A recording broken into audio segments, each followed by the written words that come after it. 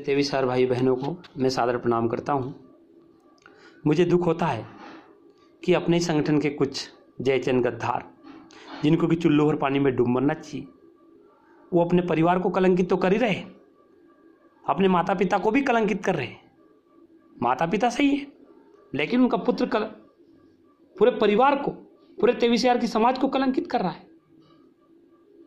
ऐसे जयचन ऐसे गद्दारों को तो मर जाना चाहिए इस धरती पर जीवित रहने का उनको कोई अधिकार नहीं बनता है। वास्तव में हिंदुस्तान कभी का आज़ाद हो जाता। लेकिन मुट्ठी भर अंग्रेज़ों ने इस हिंदुस्तान पर हज़ारों वर्ष तक राज किया। आज वही भूमिका हमारे कुछ साथी भाई निभा रहे हैं।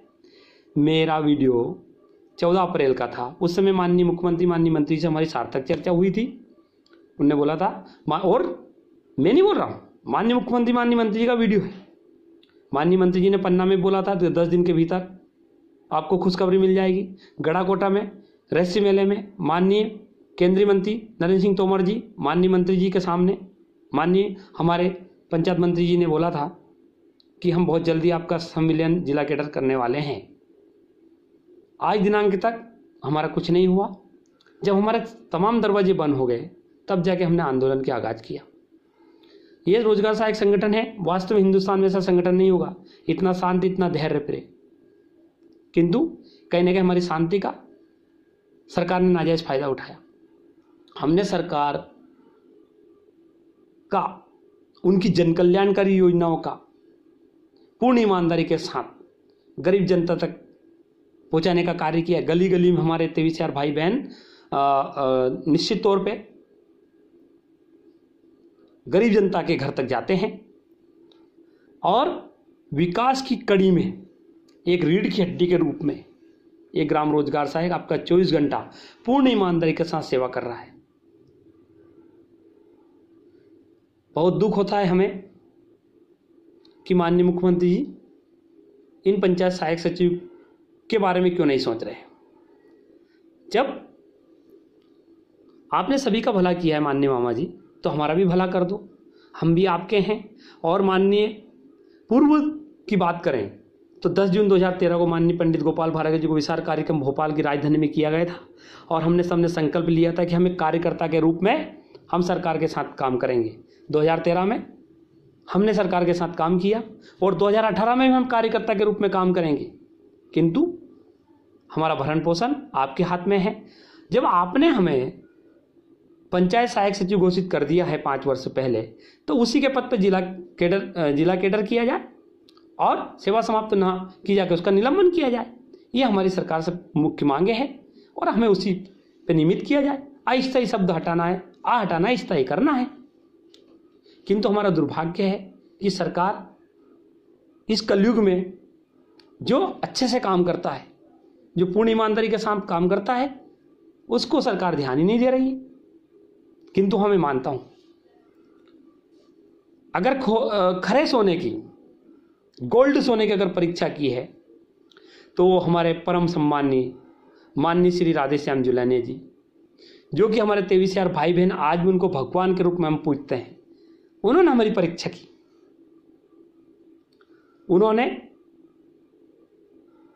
बारीकी से अध्ययन किया कि वास्तव में अगर काम करता है तो ये ग्राम रोज़गार सहायक काम करता है। लेकिन हम आज ग्राम रोज़गार सहायक नहीं है। जैसे सरकार बोलती है कि आपके सिक्सटी परसेंट की व्यय खर्च से आपका मानदेय दिया जाता है, अनुबंध में स्पष्ट लिखा है, आप निमित नहीं हो सकते। तो हम ये कहना चाहते हैं मुख्यमंत्री माननीय मंत्री जी, मुख्यमंत्री जी से कि हम रोज़गार सहायक नहीं है। हमारा मूल पद पंचायत सहायक सचिव का है। जब आपने पाँच साल पूर्व में हमें पंचायत सहायक सचिव घोषित किया तो हम रोज़गार सहायक नहीं है। हम पंचायत सहायक सचिव है। और जब आपने माननीय समस्त इक्यावन कलेक्टर महोदय ने उस समय आदेश जारी किया था कि पंचायत सहायक सचिव, रोज़गार सहायक को अस्थायी रूप से माना जाता है।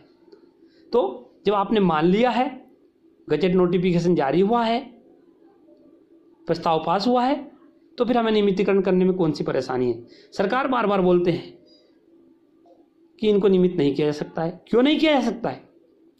एक पंचायत कर्मी बुरा नाम आना मेरे बड़े भाई, लेकिन कहना पड़ता है, इस पापी पेट को पालन पोषण के लिए सबका सहारा लेने की आवश्यकता होती है। एक हमारे ग्राम पंचायत सरपंच महोदय के द्वारा नियुक्ति दी गई थी। एक ये साला की ग्राम पंचायत के द्वारा भर्ती, अध्यापक की भर्ती की गई थी। उनको सरकार नियमित कर सकती है, उनके लिए नियम बना सकती है। तो फिर एक जो ग्राम रोज़गार सहायक है, उसको ग्राम पंचायत में आवेदन लिया। जनपद से उसका वेरिफिकेशन हुआ। माननीय जिला पंचायत सीओ महोदय जी ने उनके नोटिस जारी की और माननीय कलेक्टर महोदय के अनुमोदन के उपरांत एक बोल्ड खरास होने को पूर्ण पारदर्शिता के तहत इन ग्राम रोज़गार सहायक की भर्ती मध्य प्रदेश सरकार ने की है। और इसके उपरांत ग्राम रोज़गार सहायक को पद अलग करते हुए हमें पंचायत सहायक सचिव सरकार ने घोषित पाँच साल पूर्व किया तो हम, हमारा संगठन हमारे तेईस हज़ार भाई बहन हम ग्राम रोज़गार सहायक नहीं मानते। हम पंचायत सहायक सचिव हैं और पंचायत सहायक सचिव के पद पर रहकर हम काम कर रहे हैं। इसलिए मध्य प्रदेश सरकार से हम कहना चाहते हैं कि समय रहते हुए, मामा जी, आपने सबका भला किया, हमारा भी भला कर दो। नहीं तो ये आर पार का युद्ध है, अंतिम युद्ध है, अंतिम प्रहार है। हम पीछे नहीं हटेंगे। और आपके जितने प्रेम पत्र जारी हो रहे हैं, हमने अब ठान लिया है कि घुट घुट के जीने से तो मरना हम शान से मरे। आप एक साथ सेवा समाप्त कर दो। या फिर हम स्वयं आप हमसे बोल दीजिए, हम तेवीस यार भाई बहन हम सामूहिक रूप से आपको त्यागपत्र, इस्तीफा आपके सीएम हाउस में जाके हम सौंप देंगे। और मैं, मेरे भाई से कहना चाहता हूँ, डरने की आवश्यकता नहीं है। ये जो लेटर जारी हो रहे हैं, सेवा समाप्ति होने दो। मैंने, मैं संकल्प लेता हूँ, और आप भी मेरे साथ संकल्प लीजिए कि जब तक झंडा गड़ा रहेगा, चाहे नियमितीकरण का आदेश आ जाए, लेकिन पहले बहाली, इसके बाद नियमितीकरण। पहले उनको बहाल करो, इसके बाद धरना स्थल पर हम अपना झंडा उखाड़ेंगे। कल पूरे मध्य प्रदेश में विधायकों को ज्ञापन दिया जाएगा, समस्त सम्मानी विधायक महोदय जी को ज्ञापन दिया जाएगा, पैदल मार्च, ऑटो रिक्शे में हम सरकार को हमारी उपलब्धियाँ गिनाएँगे और सरकार की नाकामयाबों को भी हम गिनाएँगे। यदि सरकार समय रहते हुए हमारा नियमितीकरण नहीं करती है तो कल माननीय विधायक जी को ज्ञापन दीजिए, इकतीस मई को सम्मानी कलेक्टर महोदय को। अब हम अकेले ज्ञापन नहीं देंगे, हमारा परिवार सहित ट्रैक्टर टालिया भर भर के इक्यावन जिलों में जाएँगे और इकतीस मई को ज्ञापन माननीय कलेक्टर महोदय को मुख्यमंत्री के नाम देंगे। यदि फिर भी वो अंतिम ज्ञापन होगा, फिर भी माननीय मुख्यमंत्री जी हमारी बात को नहीं मानते हैं तो हम सब, आप सबकी आवाज़, आप सबने तय किया है कि इतिहास में हमारा नाम होना चाहिए। हम इतिहास में नाम करेंगे। यदि सरकार ने समय रहते हुए हमें नियमित नहीं किया तो एक से दस के बीच में भोपाल की राजधानी में परमिशन लेके तेईस यार आपके मुख्यमंत्री माननीय हृदय सम्राट, माननीय संवेदनशील मुख्यमंत्री महोदय जी माननीय मामा जी हम एक से दस मई के बीच में सॉरी एक से दस जून के बीच में समस्त तेईस यार आपके भांजे भांजियाँ। मुंडन करवाएँगे, सर मुंडन करवाएँगे। मुंडन कराने के बाद तेईस यार मटके खरीदेंगे। फिर हम अंतिम श्रद्धांजलि सरकार को दे देंगे। चाहे सरकार कल निकालती हो तो हमें आज निकाल दे। हम पान की गुमटी लगा लेंगे, चाय की होटल खोल लेंगे, दो भैंस रख लेंगे, लेकिन चौबीस घंटे इस प्रकार घुट घुट के नहीं मर सकते। पहले मृत्यु दर अगर थी तो छोटे छोटे बच्चों की मृत्यु दर होती थी। आज 20 से 35 साल के हमारे नौजवान, जो कि चौबीस घंटे, उनको ये पता नहीं रहता कि हम जनपद में बैठे हैं कि घर पे बैठे हैं।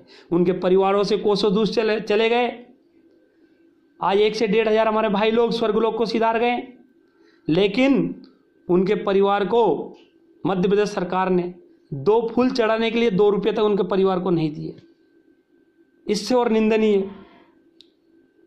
और क्या हम कह सकते हैं? मामा जी, आपने सबका भला किया है। हमारा भी भला करो। हम एक कार्यकर्ता के रूप में 2018 में आपने हमारी अग्नि परीक्षा बार बार ली है। पिछले साल ग्राम उदय से भारत उदय में भी आपने देखा होगा। बहुत सारे भाइयों को, हज़ारों भाइयों को एडमिट कराना पड़ा, फिर भी हमने सरकार का साथ दिया। हमने बहुत सारे सरपंच महोदय हड़ताल पे थे, उनका साथ नहीं दिया। बहुत सारे हमारे वरिष्ठ कर्मचारी थे, उनका हमने साथ नहीं दिया। फिर और कौन सी अग्नि परीक्षा हमारी बाकी बची? अगर फिर भी हम कहना चाहते हैं, हमारी मनसा, कभी ये नहीं रही कि हम मध्य प्रदेश सरकार के कार्य की जन कल्याणकारी योजना को प्रभावित करें। अगर हमें इन कल्याणकारी योजनाओं का कार्य प्रभावित करना होता तो श्रमिक पंजीयन अभी हो रहा था, मजदूर पंजीयन हो रहा था एक अप्रैल से। हम कहीं ना कहीं चोरी एक मई से, कहीं ना कहीं उस समय हम हड़ताल कर सकते थे, आयुष्मान भारत में हम हड़ताल कर सकते हैं लेकिन नहीं। हमारा आज भी उद्देश्य नहीं है कि हम किसी कार्य में बाधा उत्पन्न करें, लेकिन हम मजबूर है, बेसहारा है। इसलिए मामा जी, ये अंतिम समय है, आपको हमें नियमित तो करना पड़ेगा। और हमने प्रण कर लिया है, संकल्प ले लिया है कि हम मध्य प्रदेश सरकार से नियमितीकरण लेके रहेंगे लेके रहेंगे। और यदि सरकार ने नियमितीकरण हमें दिया, तोहफा तो निश्चित तौर पे कार्यकर्ता के रूप में तेईस हज़ार भाई बहन आपके सामने दिखाई देगा। और आपके सामने अंबेडकर मैदान में, भेल दशहरा मैदान में संकल्प लेंगे कि हम कर्मचारी नहीं, कार्यकर्ता के रूप में आपके साथ काम करने को तैयार है। लेकिन मामा जी हम सबसे बुरे हो चुके हैं। सब कर्मचारी अधिकारी से बुरे हो चुके हैं। हमने सरकार के साथ कदम से कदम, कंधा से कंधा मिला के काम किया है। और इतिहास में ऐसा संगठन नहीं जो इतना धैर्य, इतना धैर्यशाली संगठन होगा। इसलिए मैं पुनः कहना चाहता हूँ कि ऐसा नौबत ना आए, एक जून ना आए। नहीं तो एक जून के बाद में तेईस हज़ार भाई बहन भोपाल में राजधानी में आके मुंडन का कार्यक्रम चलेगा और एक साथ तेईस हज़ार भाइयों बहनों का जब मुंडन होगा तो इतिहास याद रखेगा। इतिहास में नाम याद रखा जाएगा और इसके बाद तेईस हज़ार मटके का कार्यक्रम रखा जाएगा और अंतिम संस्कार हम मध्य प्रदेश सरकार का करने फिर पीछे नहीं हटेंगे। हम फिर भी कहते हैं कि हम कभी भविष्य में ऐसा नहीं सोचेंगे। लेकिन जब मजबूर और बेसहारा हो जाएँगे तो हम ये करने में भी पीछे नहीं हटेंगे। इसलिए माननीय मुख्यमंत्री महोदय जी, माननीय मध्य प्रदेश सरकार के यशस्वी मुख्यमंत्री महोदय जी से मैं कहना चाहता हूँ कि समय रहते हुए इकतीस